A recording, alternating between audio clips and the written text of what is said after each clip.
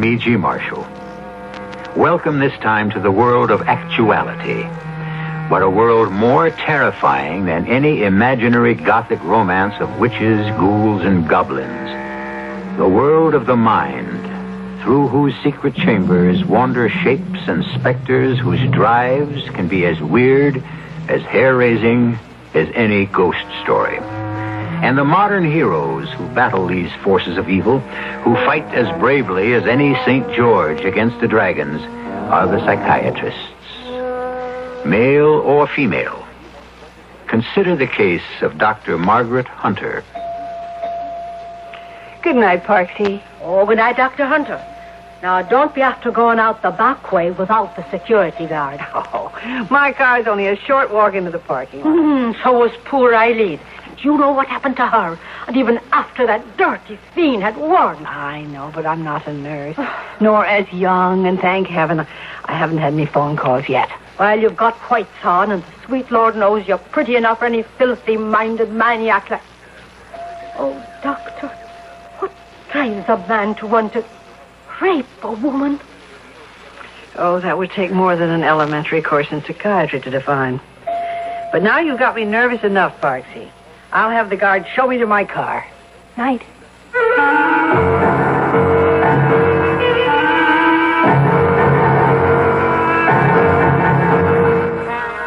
Our mystery drama, The Disembodied Voice, was written especially for the Mystery Theater by Ian Martin and stars Celeste Holm.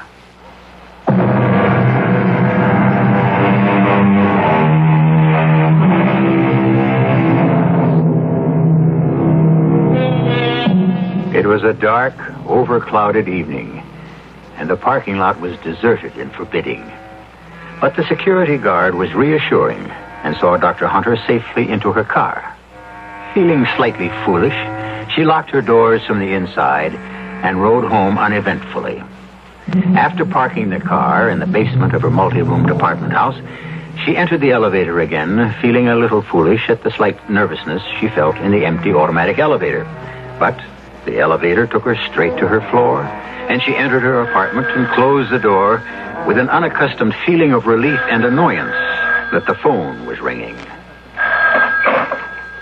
Hello? Yes? What did you say?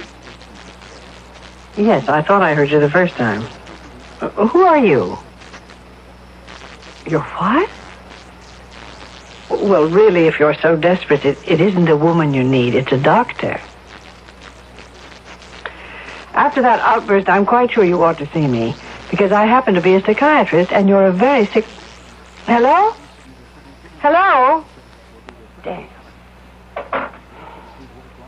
Well, Dr. Margaret Hunter, your hand is shaking. What's the matter with you? College? Three years med school? Seven years residency in psychiatry? And suddenly you're nervous because a man says some, quote, dirty things, unquote, to you over the phone? You should be concerned with the patient and his problem, not yourself. At least this one didn't threaten to kill you after he'd had his way with you.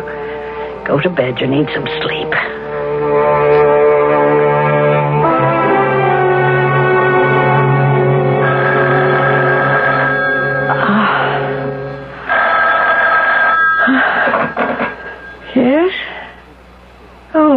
No, not you again.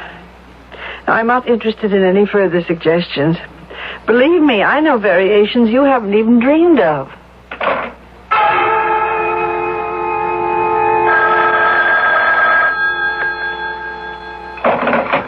Hello? Oh, brother.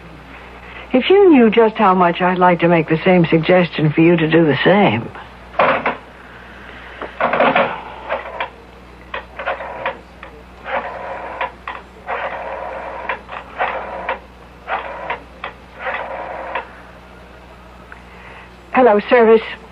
Dr. Margaret Hunter. Intercept all calls and tell the hospital unless it's an urgent emergency, I don't even want to let them through. Oh, I'm bushed. I've got to get some sleep. Thanks, Judy. Good night. If I can sleep now anymore.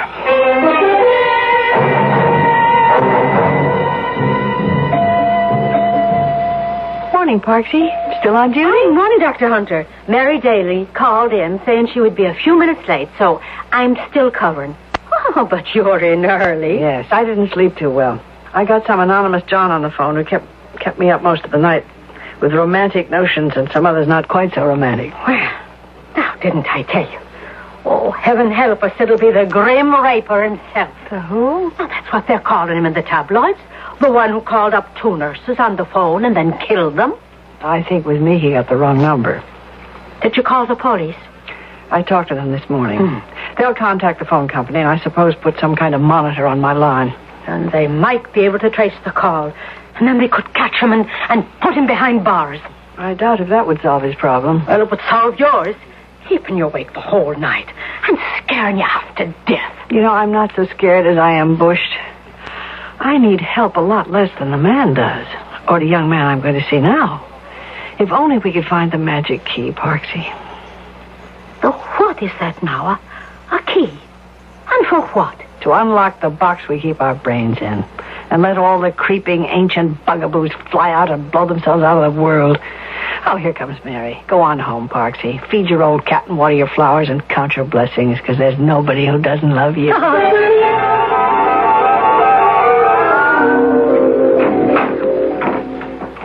Morning, Larry. Morning. Still feeling totally antisocial? What do you want from me? Thanks for the royal sweetness service. Heavy screened windows, restraining straps on my arms and legs. I guess I'm lucky I'm not in a straitjacket. Well, the nurses tell me you wouldn't stay in bed. They had to put you in restraint. There was no cop outside anymore. I figured I was free to get out of the cage a little. Well, I persuaded the police you didn't need a guard. You kind of let me down, you know. Well, how come? The little girl's mother lodged a pretty severe complaint against you. In your position, I want to keep it out of the papers. Why don't you just let me alone? Larry, you're going to have to answer for what you did. If I can tell them the why, or understand the why, you may not have to be locked up. Look, maybe I need a shrink, but I don't need a dame. I know you're ashamed of it and can't face yourself and would like to work out your hostility on someone, anyone, to try to wipe out your shame, but it won't work that way. You want to make one deal? What? Promise me you'll stick to your room and do what the nurses tell you. Look, I happen to be a fan of yours, and I want this to stay as small and as unimportant as I think it really is. We all flip one way or another because life is a little more than any of us can handle. Most people get away with it. Nobody knows. You're not most people. And with you, if anybody knows, the world knows. You don't want that. Oh, Lord, no. So we got a deal? You got a deal. Good. Now, for the record, I signed you in as a concussion case. You're just under observation till it can be written off. Forgotten. Cured.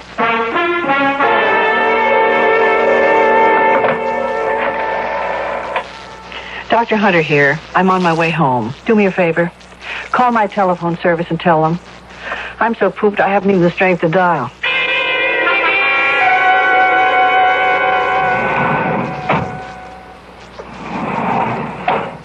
Dr. Hunter? Who's that? Oh, what happened to the light? Well, either burned out or someone knocked it out. Who are you? Oh, don't be alarmed, Doctor. Here, my credentials. Detective Sergeant Grant. Well, I'll have to take your identification on trust. It's so dark I can't see anything. What are you doing here? Well, you did call the police. I checked the hospital and found you were on your way home. I got up here, and with the lights out, I thought I'd better hang around. Thank you. I appreciate the protection. In your case, we're willing to go a little further. I'd like to come in and talk to you, if I may. Why not? Excuse me.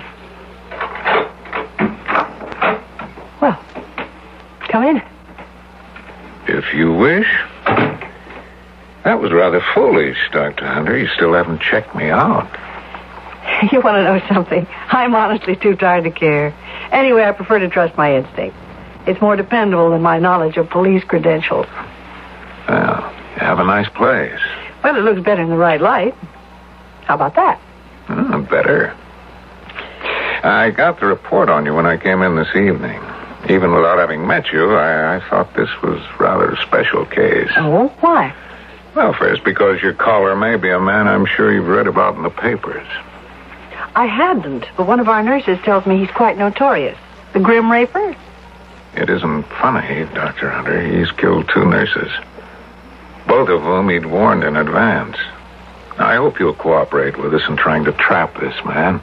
I don't like the word trap. It has other connotations. The man is sick. I want to help you find him and cure him, if possible. More important, to stop him from harming anyone else and destroying himself. So how do we do it? Well, it isn't quite that simple. This phone thing goes on all the time. And we don't know if the man who called you is the man who murdered those girls. Now, the phone company is more than cooperative. They go along when it's important. And in your case, they agree it is. Well, what's so special about me? Well, you're a psychiatrist. You don't uh, start at shadows. You can handle a man who's potentially dangerous. Uh. Now, for example, if by chance he should call tonight, I have everything set up at Central to trace the call. Your line is being monitored now. But you'll have to hold him on the phone as long as you can for the company to be sure of making a fix. Could you do that? I can try. I can also tell you that I'm just as anxious as you are. But I don't think my man has any connection with your Grim Raper. How do you know? I don't know. It's instinct. I just think the man who called me was no run of the mill psychotic. I've got the feeling that he was, or is, a man with a temporary aberration. Hmm. Wasn't it about this time that he called you last night? Yes? It's someone who knows your habits, has some idea of your schedule. Midnight. Is that about when he started last night? Yes, but it could be the hospital. Now, wait, as long as we dare. My service picks up after four rings. You have an extension in the kitchen? Yes? Okay, pick up. I'll get on the extension. Hello? Hello, my lovely. Your unseen admirer. Why did you have to spoil it? I don't understand. What do you mean, spoiled? You went to the police. No, really, I didn't. We would have been so wonderful together. All the things I told you we'd do. Now, it's over. No, wait. Why did it have to be? Give me a chance to tell you. You'll never be able to tell me anything. I'm to put an end to it. Once and for all. Don't worry. It'll be quick. Farewell,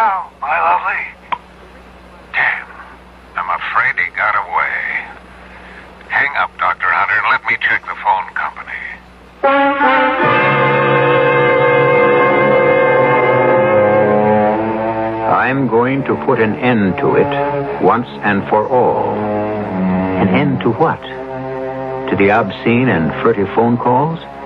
Or does he mean to Dr. Margaret Hunter's life? I'll return shortly with Act Two.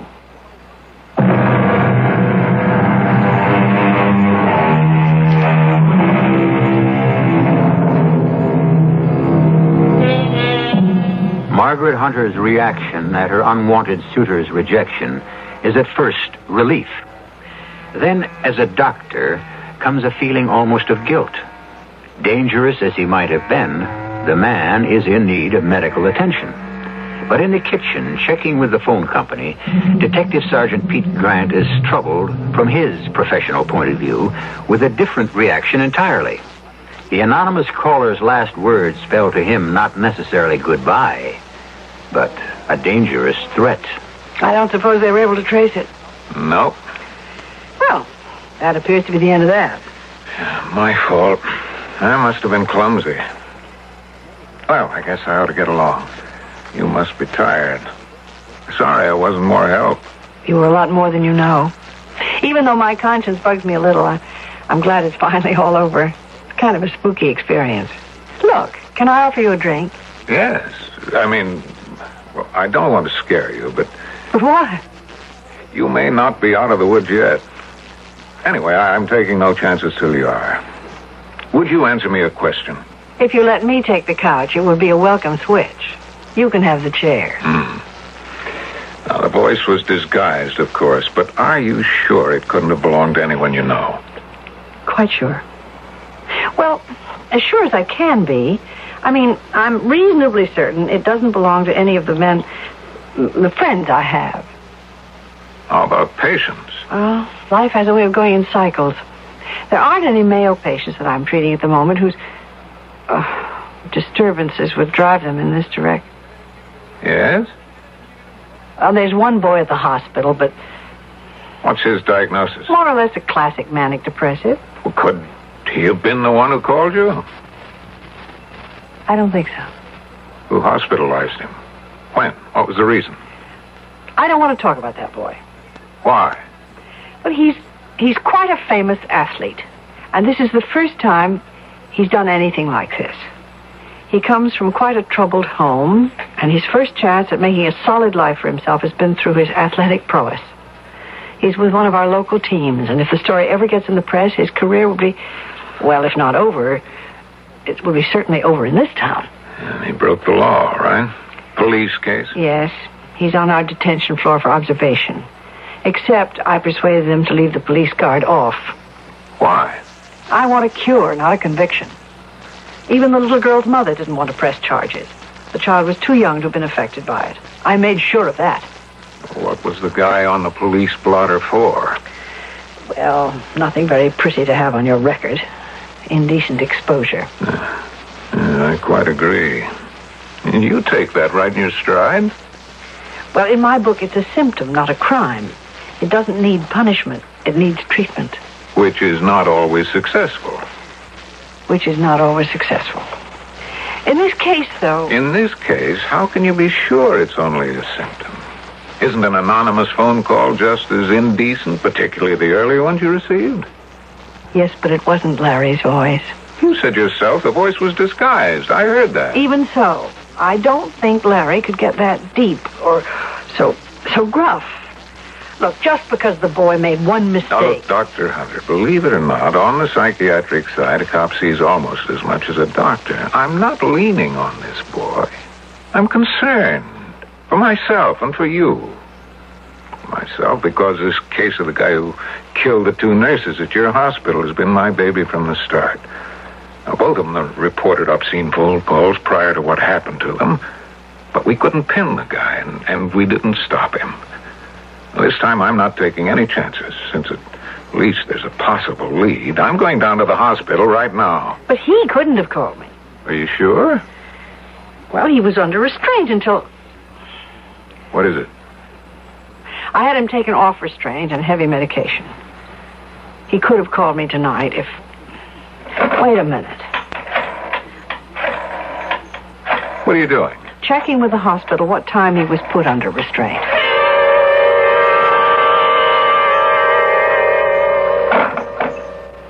So it couldn't have been Larry. Impossible. They had him in a wet sheet first at 11 till he promised to behave, and the rest of the night they had a harness on him. And the nurses were in and out. He couldn't have moved. And anyway, there's no phone in the room. Okay, that washes that out. Detective Sergeant. Heavens, what a mouthful that is. Do you have a name? Peter. Pete to my friend. So far, you're still a friend.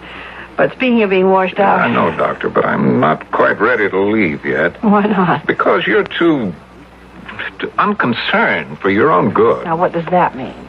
I think I ought to shake you up a bit. The guy who's been calling you, how do you know you're through with him? He just said so on the phone. Goodbye, my lovely. Remember? And he also said, I'm going to put an end to it. Maybe that's what he said to the two nurses before he raped and killed them. Now, this case isn't closed yet, Doctor. Now, I want to ask you to be careful. I wish we had enough personnel to cover you around the clock, but we haven't. Would you like a gun? No, thanks. Not my style. Besides, I wouldn't know how to use it. Well, then at least promise me to take it easy. You know, don't travel alone. Keep your car doors locked. Keep the chain on your door when you open it. This is my home phone. If you can't reach me at the precinct number, the precinct number's there. The badge number is 352. I don't need a number. I have a name. Thanks, Pete Grant, PD. Don't mention it. Margaret Hunter, MD. I appreciate your concern, Sergeant. But I think it's all over for me, so I'll say goodbye. I don't like your choice of phrase. Which one? Both of them. I hope this isn't goodbye. For personal reasons, I mean, of course. It's been nice meeting you, Doctor. Same here. We could even things up a bit. It's Margaret. My friends call me Marge. Good night, Marge. Good night, Pete. I'm not leaving till I hear those bolts go home and the chain on. Okay, Bulldog Drummond. Satisfied? For tonight, anyway. You should have listened more closely to your mother, Marge. A policeman is your friend.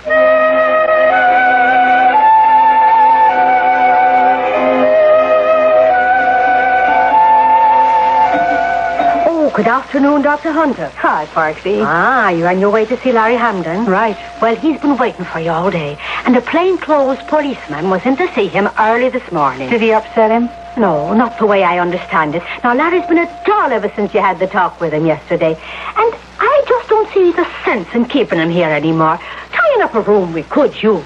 Well, I'm glad everyone else is busy arranging his future.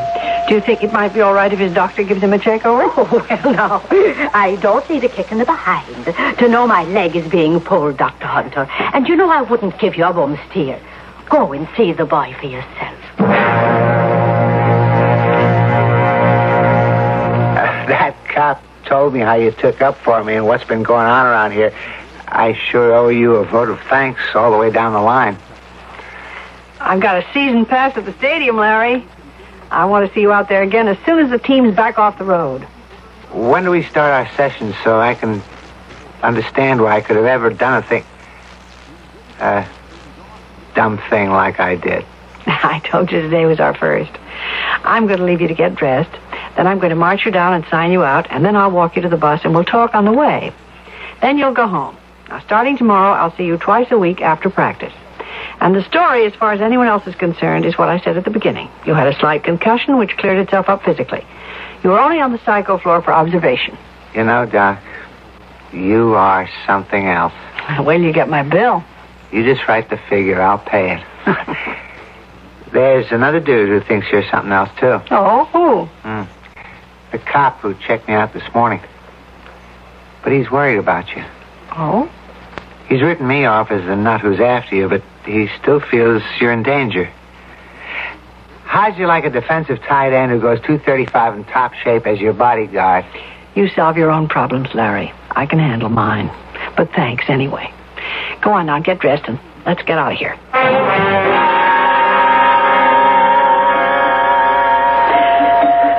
Dr. Hunter, I'm going home.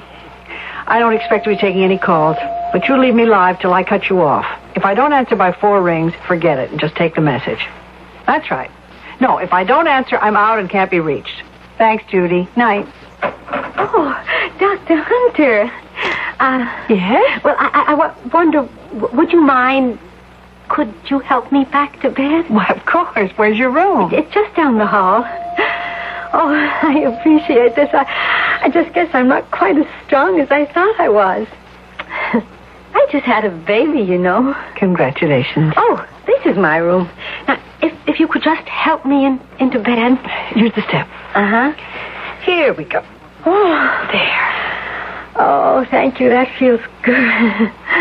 My husband's coming to see me any minute now, and I, I wanted to be on my feet. Well, no sense in hurrying it. But I, I'd like you to meet him. Well, I, it's it's rather late, and I Oh, you don't recognize me, do you? should I? You do seem a little familiar somehow, but I'm afraid I so seldom get to the maternity oh, pavilion. Oh, no, no, you wouldn't know me from here. It's, well, it's just that I live in the same apartment building as you. Oh. Yeah, my name is Louise. I, I, I'm Mrs. Charles Benson. Well, how do you do? I should apologize, but I'm afraid I'm a typical cliff dweller. I'm there so little, I don't know any of my neighbors. Oh, that's all right that you're a busy doctor. And, well, we don't even live on the same elevator bank, but, well, you're like well known. I, I, I mean, a woman psychiatrist and all. And, well, I'm just glad that I have the chance to say hello. Me too.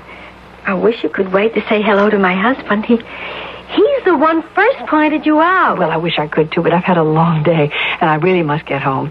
Tell your husband I'm sorry I oh, missed please. him. And... Here he is. Here he is now. Charles? Charles, will you look who helped me back into bed? Dr. Margaret Hunter from our old building. Well, how do you do, Mr. Benson? How do you do? My congratulations on your new baby. And now I really have to run. But Charlie, what's the matter with you? Has cat got your tongue? I'll leave you two alone. Charlie, that wasn't very polite. Hello, my lovely. Don't you look wonderful? What? Hello, my lovely.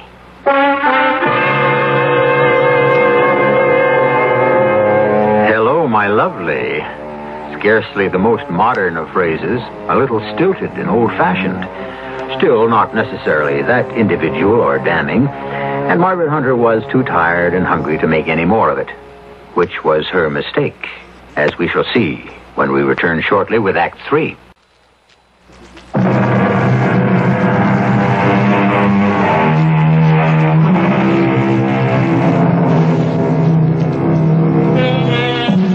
It was a weary Dr. Hunter who ate a light dinner at the hospital cafeteria and then headed for home.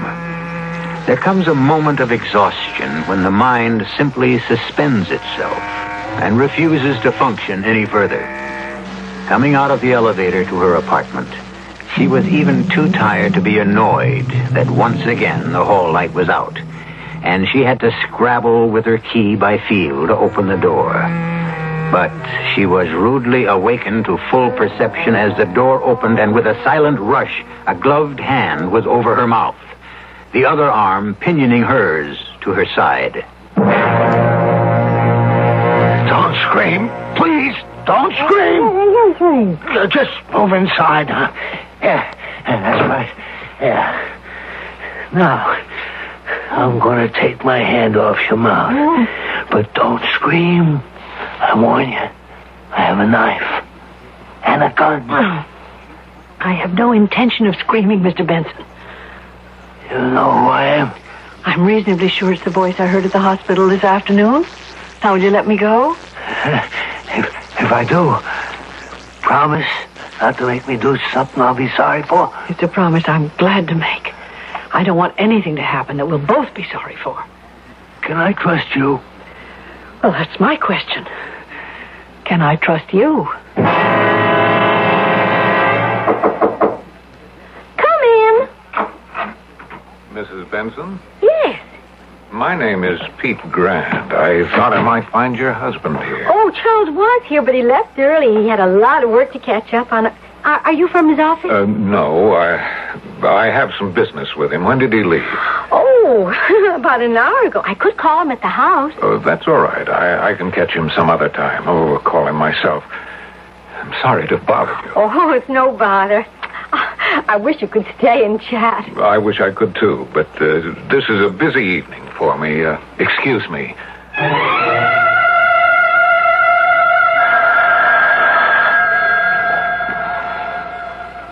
I have to answer it. It might be the hospital. No! Let her ring. If you insist. I have to, Margaret. I can't let Louise be hurt. Now, when she's finally had the baby we always wanted, it would kill her. Kill? Is that what I have to do? What? Why did it stop ringing? Why did the phone stop ringing? I have a service that intercepts. If the phone rings, Yes. then that means you're not home. Good. It'll give us a little time together before. You'll give us time. Look, Service, I'm calling from the hospital. I understand, but this is police business. I don't care what Dr. Hunter told you. You keep ringing her till you get through to her. Yes, I'll hang on.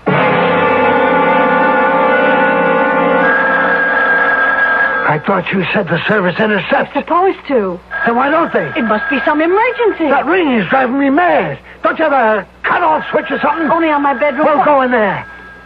Ah, if you just let me. I told you I had a knife. Move! All right, I'm moving. Just don't do anything foolish. Don't you! Now cut off the phone by the bed. Quick! All right, all right. Damn! Will it never stop? Maybe if you let if you let me tell the service not to put through any calls. No, no, no. Stay away from the phone. If we wait long enough, they'll give up. Yeah. That's better. I thought you'd never know who. And now. Now you hold my whole life in your hands, Margaret. Once I might have wanted that. But not now. Now that Louise has had the baby. I have to think of her first. I have to protect her. Don't you see? You see that, don't you?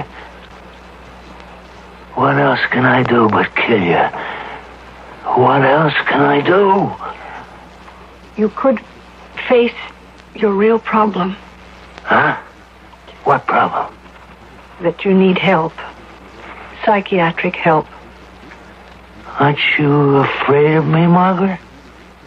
No. Why not?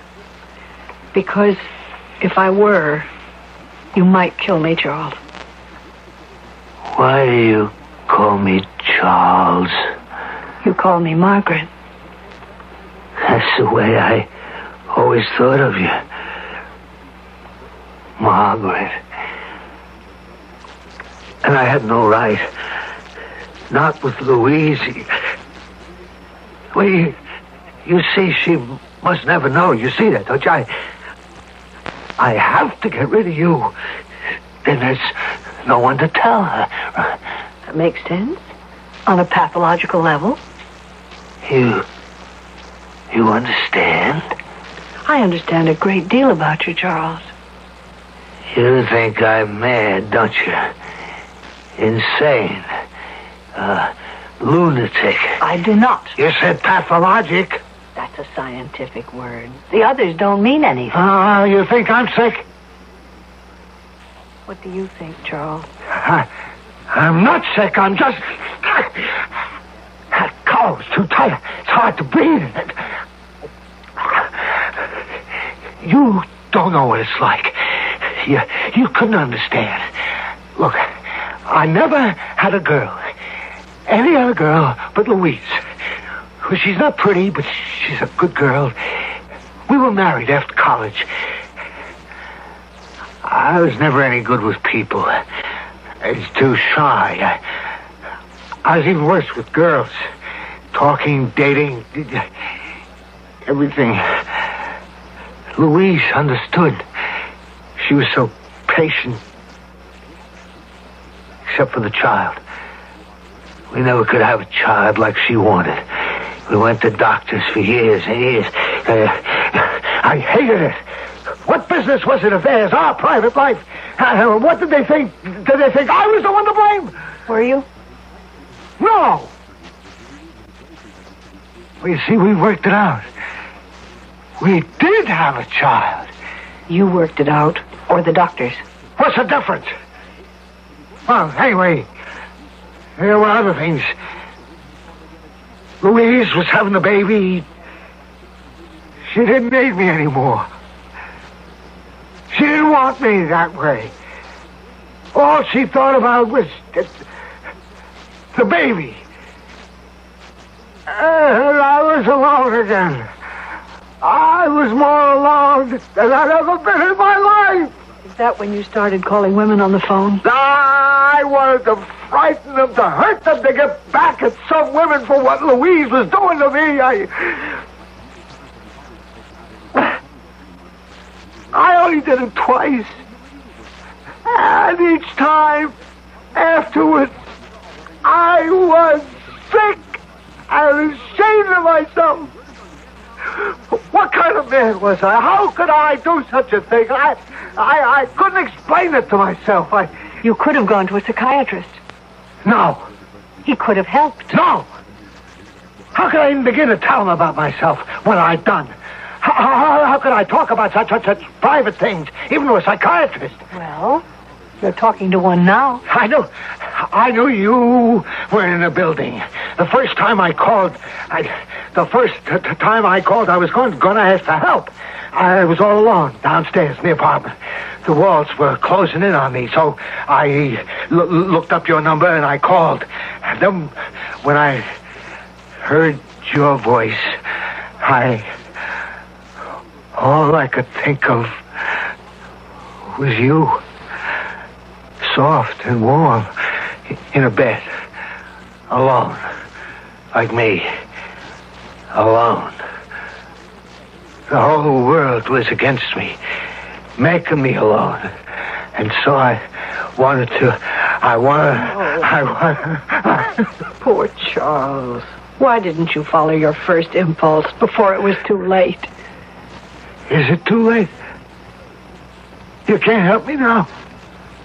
Give me the knife, Charles. Knife?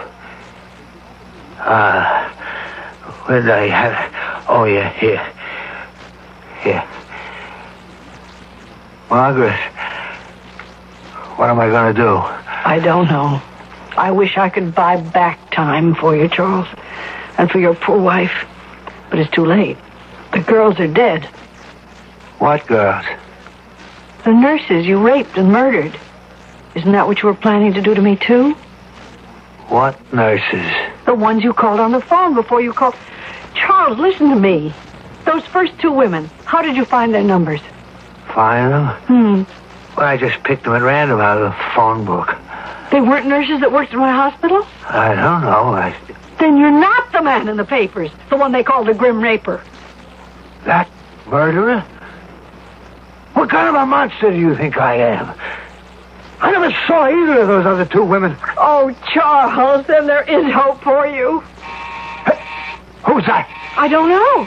Open up, Margaret. It's police. Me, Pete. The police? Where you are. I put that knife down. I told you I had a gun. Shut up, well, I'm coming in. Trust you. I didn't know he was coming, Charles. Margaret, are you in there? Are you all right? Of course I'm all right. I'm warning Benson. If he's in there with you, there are three of us, and we're all armed. Now I'll have to kill you and myself. Oh, don't be a silly boy, Charles. Give me that gun. Uh, that's better. You can come in now, Pete. And you can put your gun away, too, Detective Grant. I think you'll find that Mr. Benson and I have solved all our problems.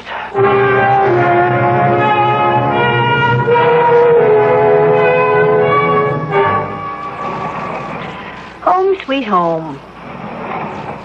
The candle in the window still isn't burning very bright. Oh, you mean that bulb? I'll get the super to replace it in the morning. I wonder if Benson was responsible for that. Oh, let's not blame any more on him. Blame? I'd like to have given him one good shot for putting you through what he did. Lady, you sure have guts. How did you happen to come charging up like St. George in time to save the lady from the dragon? Oh, that's simple. I got interested from the very beginning in the case. Oh? Now, once we picked up the other guy this morning, the one responsible for the nurses, I I got to thinking about you. The case, I mean. How did the guy know you'd called the police in? Unless it was someone right in the building. So I ran a building check and came up with three possibles. Three possible what? Lone birds who might take a notion to make naughty phone calls. Singles. One, salesman out of town. Two, a guy whose MC at a nightclub and was in the middle of his act when the phone call came the night I was here. So, it looked like it had to be number three, Benson. And it was. Can you really cure him, do you think?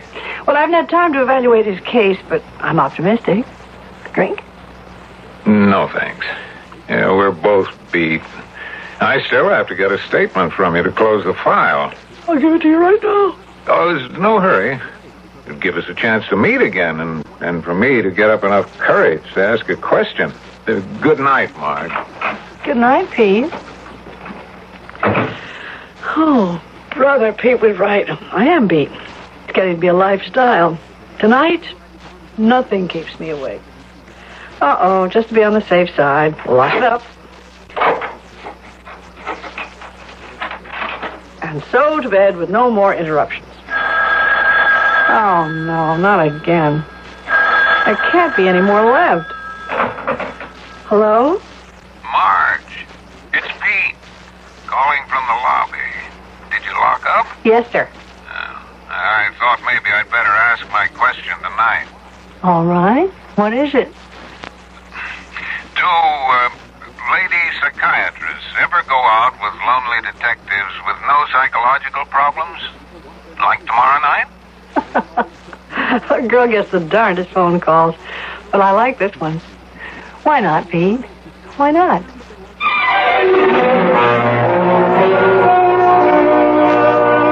A trip through the haunted hallways of the mind. I wonder if Dr. Margaret Hunter ever located the golden key in Charles Benson's case. Now that's interesting. I wonder also if men ever receive obscene phone calls from lonely ladies. Only one way to find out. I'll let you know when I return shortly.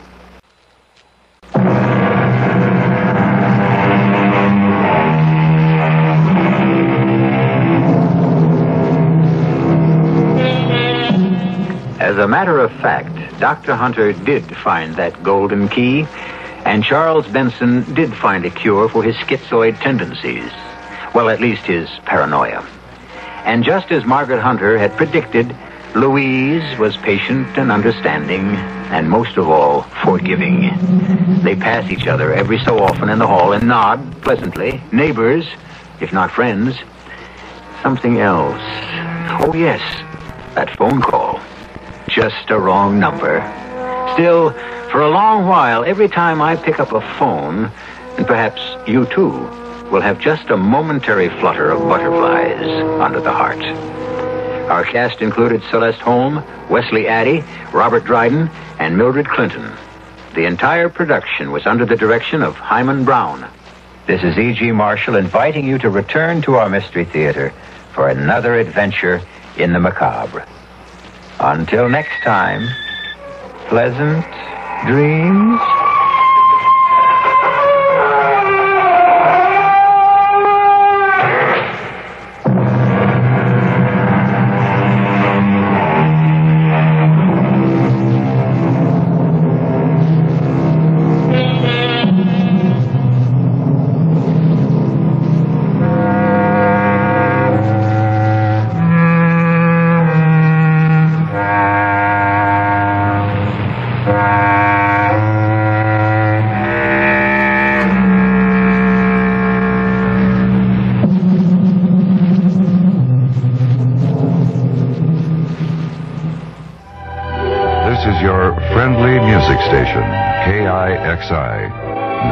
91 AM, Seattle.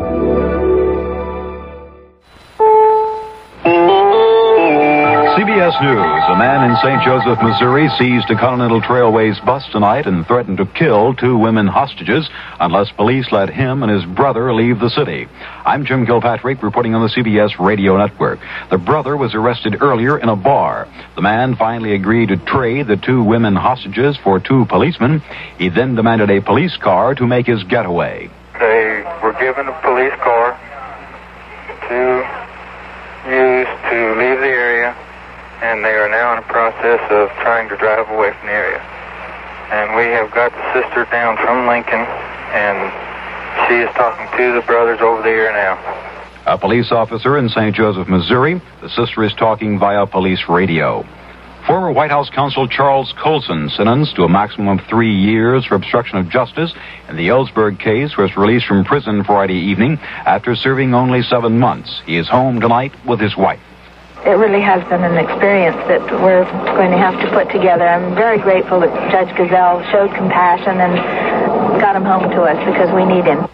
Mrs. Colson apparently referring to Judge Gesell's statement that the sentence was shortened because of serious family difficulties. Colson was the last of the Nixon White House associates to be released. John Dean, Jeb Stuart Magruder, and Herbert Kalmbach were freed earlier. You, you felt a little bit lonely that, that first night with the other three gone and I was still there. Uh, you hoped you weren't forgotten, but I, I knew I wasn't. You said you'd never forget the others you met in prison. Will you stay in contact with them? I hope to. That's one of the things that Freddie and I are planning to do, is to go back to uh, Maxwell to visit with some of the men that I spent a lot of time there with this past fall. Colson talking with newsmen tonight. President Ford's $1 per barrel tariff on imported petroleum is in effect along the eastern Gulf Coast. Weather is a problem in Texas, and many ships fail to make the deadline. The uh, Houston Ship Channel uh, is, is still fogged in. It has been for, for several days now. Uh, uh, we have two tankers uh, carrying almost a million barrels of crude, and we don't know whether or not the fog is, is going to lift tonight. Exxon spokesman Chuck, Chet Bushnell. The deadline is still two hours away on the Pacific coast, and San Francisco harbor authorities report no rush to beat the deadline. We have one ship, the SS Kaleo from Chevron, who is trying to make it in. And if they beat the tide situation, they will arrive before the deadline. There's been no uh, surge of shipping trying to beat this deadline. There has been no change of schedules. Senator Kennedy says President Ford's tariff on U.S. oil imports is an overreaction to the energy problem and threatens serious damage to the nation's economy. I propose the introduction on a gradual, deliberate basis of a mandatory allocation program for gasoline, with parallel quotas on gasoline and crude imports. But this not, must not be a sudden, drastic program that will twist our economy out of shape, drive up the oil price, and bring back long lines at the gasoline station. And we should review this modest allocation program every six months to see its effects on consumption and overall economy. Senator Kennedy also said he would place a tax on gas guzzling cars. The Federal Court of Appeals will hear arguments Saturday afternoon on who owns the Nixon White House material. Friday District Judge Charles Richey ruled the government, not Mr. Nixon, owns the material. The appeals court stayed the ruling pending Saturday's hearing.